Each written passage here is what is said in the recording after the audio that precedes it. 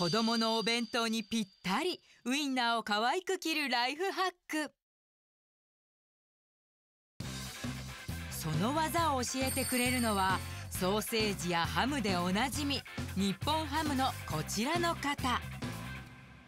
ウインナー歴30年清水さん。店頭販売やイベントでウインナーのさまざまな切り方を実演する達人なのだ。その達人が作ったウインナーを子供やお母さんに見てもらうと達人のウインナーにみんな興味津々。切れ目がすごいいっぱいある。丸くて可愛いやっぱり目があるだけですごい全部可愛い、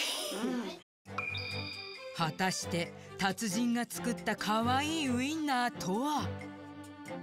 使用するのは型崩れしにくい皮なしタイプのウインナー。それではまずこちらのウインナーをボイルしていきます。調理後にボイルすると型崩れしてしまうので事前にお湯でボイルするのがポイント。まずはウインナーで可愛い生き物を作る。ウインナーは1本半使います。まず1本目のウインナーを真半分に切り落とします。で両端に用紙を置いていきます。これ下まで切れないためですけどで上から切っていきます。これはもう細かく3ミリ程度の間隔で端から端まで用紙で止まりますんで下まで切れない上だけこういう切れてる形になります。でもう一本のウインナーにこちらを巻き込んでいただいてでパスタで止めます。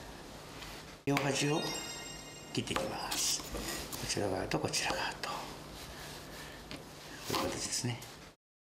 そして最初に半分に切ったウインナーとパスタでくっつけ。こちらのグリーンピース。結構ねお子さん嫌いな方もいらっしゃるんですけどこういうことをすると嫌いなものも食べてしまいますんで。グリーンピースの目をつけるとカタツムリの出来上がりです。